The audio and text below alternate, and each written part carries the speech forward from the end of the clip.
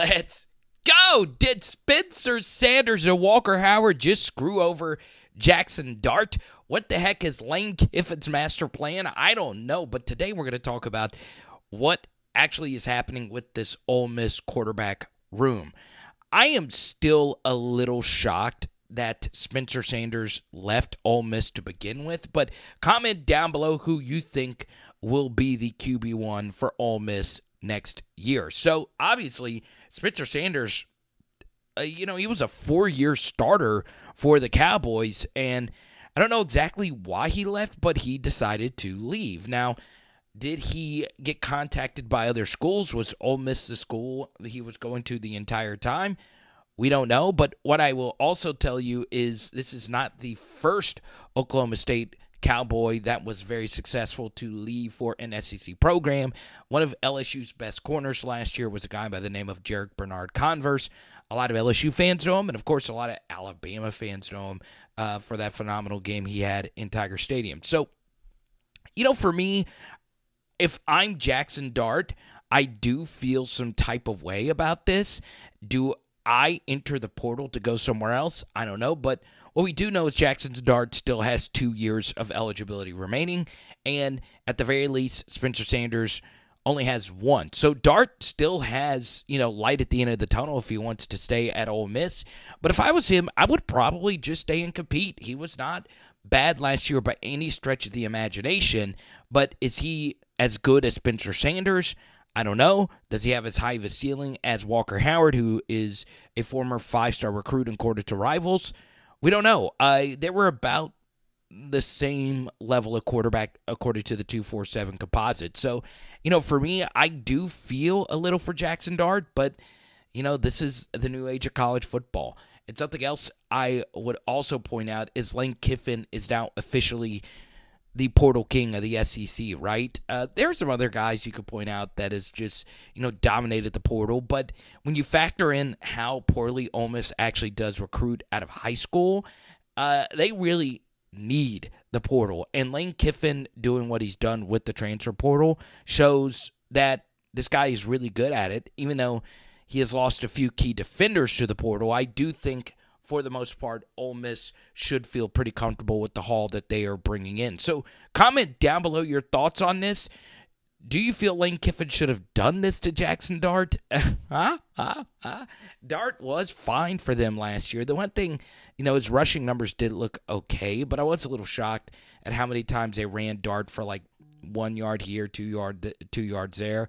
Maybe they feel a little bit better with the offense with Spencer Sanders and Walker Howard. Neither one of them are necessarily explosive runners themselves. So we'll see what happens. And uh, yeah, Ole Miss, you know, staying relevant for the next season should be a fun SEC West. So, is there anything wrong with uh, Jaxson Dart? I mean, you look at his QBR; it was in the 70s, which is honestly fine. It's not exceptional, but it, I mean, it's pretty good. It's right behind Jayden Daniels of LSU and behind KJ Jefferson. But, you know, you look at 247, they had him as a top 25 returning quarterback. Well, I'll share with you a few things that I saw from Jaxson Dart on tape towards the end of the season. And I want you to remember this throw over the deep middle right here, Spencer Sanders. I know the competition isn't great here, UAPB, but, you know, this ball right here, it was a, a little I mean, there was a lot of air under it. Maybe a better DB gets there, but that was a good throw over the deep middle. So let's actually take a look uh, at some of the throws from Jaxson Dart towards the end of the year. So obviously, you take a look at you know SEC StatCats numbers. Jaxson Dart was a pretty good quarterback. Whether you look at success rate or explosive pass rate, he was in the upper tier uh, in the SEC. But where he struggled was this game versus Texas Tech. This game would have fed me up as well if I was Lane Kiffin right here. Obviously, on this fourth and three, you do want to throw it up because if it gets picked, it is an arm punt. So this actually turned out to be a good result. But as you see right there, Jaxson Dart got hit pretty hard. And what I think honestly happened to him was he was playing through a lot of injuries. And there might not have been necessarily like a specific injury that happened. The truth is, those injuries probably started to pile up because Lane did run Jaxson Dart a lot. So here's a good example right here on the second and four. Dart, who is not a special runner, I saw a lot of this versus Mississippi State as well. Um, you know, it, it was too much of, of this, right? Where, you know, you have your quarterback as a big part of your running game. He takes a lot of hard hits and he loses his football. Um, I think those hits began to start piling up for him, and he wasn't the same player. Now, I know the competition got tougher after the first seven games, as a lot of Ole Miss fans know. You started off 7 and 0, and you ended the season the way that it did. But this was one big hit, but it was towards the end of the year. I'm going to show you one play that I thought really put Dart over the edge. Bum! I'm looking at you.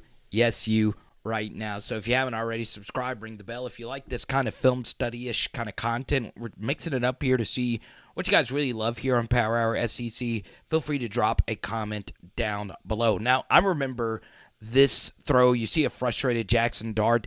He had took a pretty hard hit uh, on the drive before uh, by Ali Gaye of LSU. He does hit very, very hard. And you see Lane Kiffin is very, very frustrated.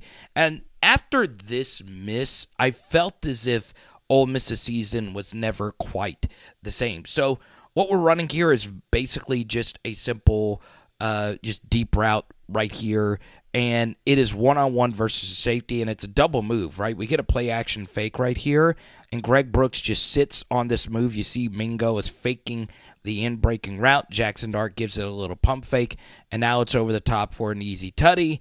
And all Jaxson Dart has to do is just not make, you know, an overthrow here. He's got him by quite a bit. Score is still 17 to 10. Ole Miss had had, you know, three consecutive great drives and you missed that one. And Lane was obviously very, very, very frustrated. See, Dart had a good start uh, to the game, but then after that, he just wasn't the same. Now we get to this third and 10. LSU got very exotic on third and long with Harold Perkins and BJ Ojulari and all those pass rushers.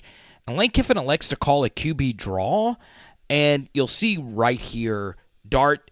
I mean, towards the end of the year, I don't think I can remember a quarterback who took as many tough shots where he was just driven directly into the ground like that. And those just began to pile up. And after this, he played horribly. And he played a little shook. Um, trusting, I watch every second of every LSU game. And, you know, he took this hit. And then he also, if you want to, you know, see a video we did earlier in the year, it's floating in the top right corner of your screen. He took a dirty hit from Dallas Turner as well. Um, a, a very, very bad one. And honestly, he just wasn't the same player. And yes, he was never just really hurt, uh, if you will, but he was also uh, just not the same player. You could just see it if you watch, you know, every snap of every Ole Miss game. So maybe also bringing in these uh, all this quarterback talent. Obviously, Lane didn't feel comfortable with Luke Altmyer running the offense. Maybe some of this is Lane getting some insurance policies for the quarterback position because a big part of what he does is running with the quarterback, right? Um, you know, and I, I've always loved this about Jaxson Darty wears a Jordan 11s. So, yeah, if the running game is a big part of what you want out of the quarterback, those hits begin to pile up. And, you know, you want a little bit more depth there to run this offense. Maybe uh, there's something to that. I don't know. But the truth is, Dart was just not the same player when the schedule got tougher. I do think some of it were the injuries piling up. I, am not showing this, but he did take a very brutal hit on first down as well. And then here, here he is getting sacked by, you know, the best defensive player in the conference, Harold Perkins. So, yeah, I mean, this was a, a, tough year, right? And you would just see it. It took him forever, you know, at times to get up from these hits. And, yeah, so maybe Lane is just getting a few extra insurance policies. And keep in mind, Matt Corral himself also went through a ton of injuries. Here he is again. This time he doesn't get hit, but you see this ball is not well thrown. He has a wide open Jonathan Mingo, and it's behind him. You're just not the same guy when you start getting pulverized like that. So, you know, with Corral being injured and not really having a good backup option with, with Altmyer, and then the same situation they were in last year – now, Ole Miss, no matter what they do, will have a better backup quarterback situation. And Lane has seen this, right? And maybe more teams should do what Lane is doing and, you know, pony up and get a really, really good backup quarterback, um, especially if you want the QB run to be a big part of your offense. So, Uh, for those saying, well, why are all these quarterbacks piling up for Ole Miss? I don't know. It's a good question. You got to ask them those things because playing time is going to be hard to get. Obviously, for, for all three of them, I do think Sanders will win this job. The truth is, it's a very good thing if you're an Ole Miss fan because oftentimes you're only as good as your best backup quarterback, right? Um, you can argue the backup quarterback is the second most important player on the team. So, comment down below your thoughts on this video. Ole Miss fans in particular, I really would love to see what you guys have to say about today. Okay, it is Power Hour SEC Buff, and tonight we are doing lemon pepper chicken wings. Let's go!